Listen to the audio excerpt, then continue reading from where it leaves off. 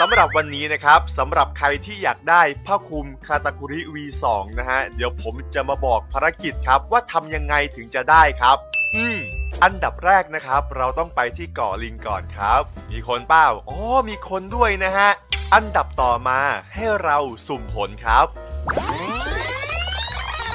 ผลนามหนามครับ จากนั้นนะฮะ ให้เราเอาผลไปทิ้งน้ำครับ